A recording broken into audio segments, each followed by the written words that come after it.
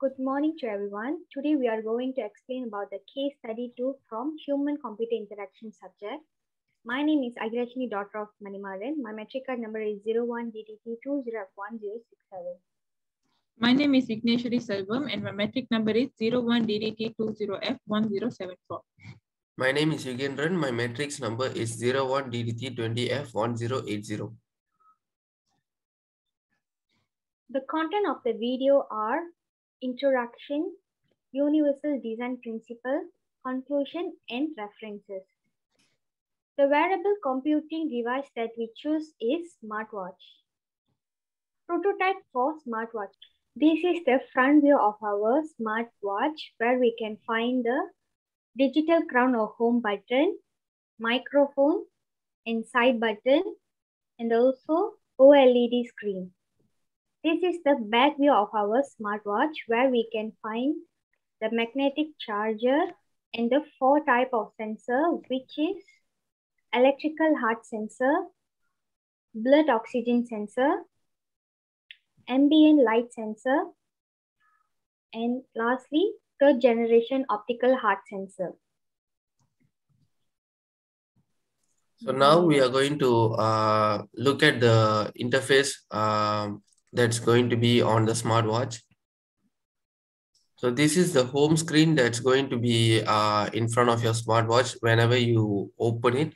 And the first will be uh, battery percentage on your top right.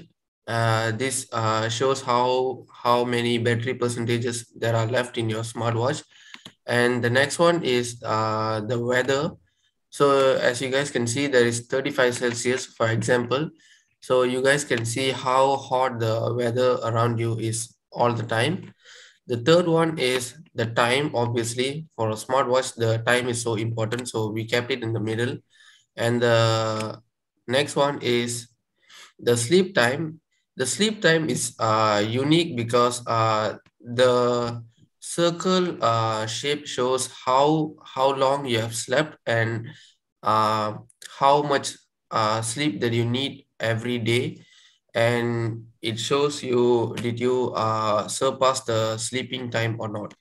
The next one will be the music.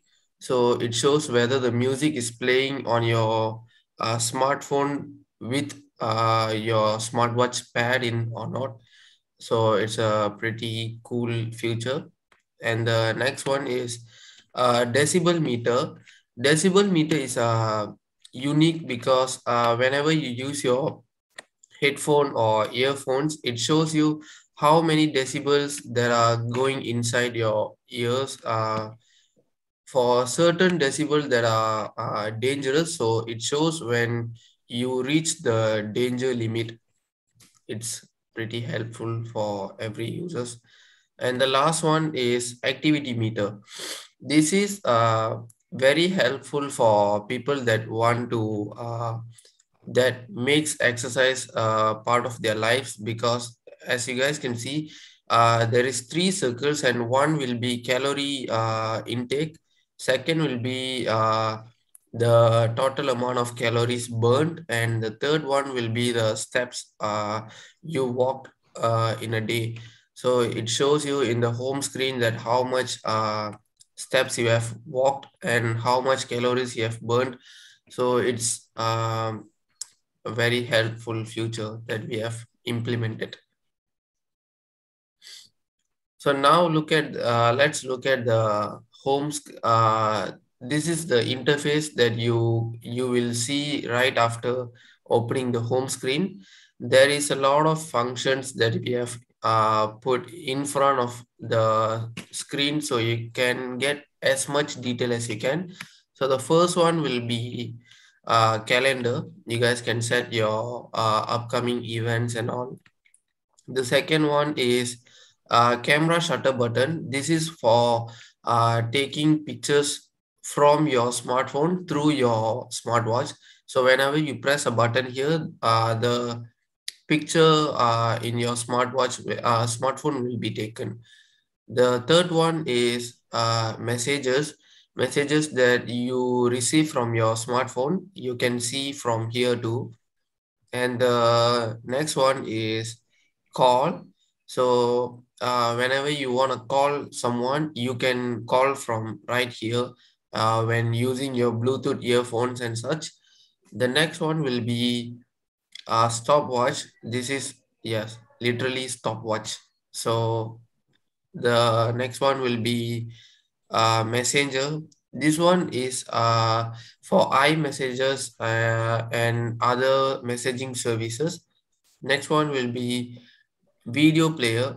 Video player is uh, to play the videos that you have in your smartwatch, uh, smartphone. So you can uh, either watch from your smartphone or watch right here. Next one will be photos that you have in your smartphone. You guys can uh, save your smartphone uh, pictures right here also because we have around uh, 8 GB of storage in the smartwatch itself. The next one will be uh, clock where you can set your alarm and uh, every other basic things regarding time and such. Next will be uh, settings to control uh, everything regarding your smartwatch. Then we have uh, exercises. Here you can customize whatever exercise that you want to do uh, in a certain day. and it also uh, tracks your calorie that you have burnt by exercising. Next will be activities this is the place where you can see how much uh, steps you have walked and how much calories you have burned and everything regarding your health and uh, your your healthy lifestyle depends here. And uh, next one will be safari.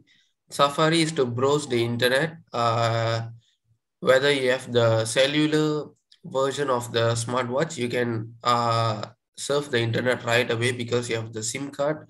Uh, if you have the Wi-Fi uh, variant of the smartwatch, you can you have to connect your in uh, smartwatch through your smartphone, so you can surf your internet right here. Next, we have music. Uh, like I said, music, you can play the music right here when you have your Bluetooth earphone set. Next will be maps to navigate your way wherever you are going. The last, uh, last one will be weather to check uh, what's the weather it's like. Yeah. So we have implemented several uh, principles when designing the smartwatch. The first one is equitable use uh, what is uh, equitable use is uh, it provides the same means for all users, identical whenever possible or equivalent when not. Uh, this principle avoids segregating or stigmatizing any users. Uh, like, what do we mean by stigmatizing is this is available for all kind of users. Uh doesn't matter if it's a small child or you're a senior citizen you can use it. Uh doesn't matter what age you are in. So the example is our smartwatch comes with various type of options. Storage uh storage wise design wise and also color wise next is uh, we were even able to design the smartwatch to take an independent cellular card inside or uh, the Wi-Fi variant when it needed. The second universal design principle are perceptible information. Our smartwatch communicates necessary information effectively to the owner, regardless of ambient condition or the user's sensory abilities. As a result, we are able to produce a smartwatch with built-in microphone and independent speakers so that the device could hear the owner's needs and respond with accuracy via the CDF, the artificial intelligence technology.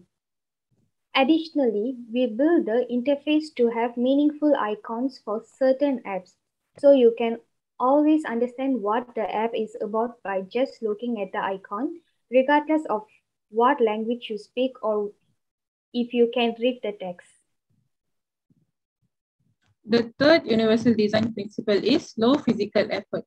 The design can be used efficiently and comfortably with a minimum of fatigue. As our smartwatch display is made of an OLED screen, we were able to incorporate an always-on display technology. In other words, the time will be displayed on the watch at the minimum brightness level without consuming the battery. Raising the wrist also enables the user to see more information on the screen in much brighter light. In conclusion, a wearable computing device is small and light enough to be worn on one's body without discomfort. We choose smartwatch as our wearable computing device in case study 2. Smartwatch has many useful functions and two Smartwatch has many useful functions too and universal design principles such as equitable use, perceptible information, and low physical effort and others. These are the websites we use to use for collect information. www.apple.com and imagesketch.com. That's all from us. Thank you.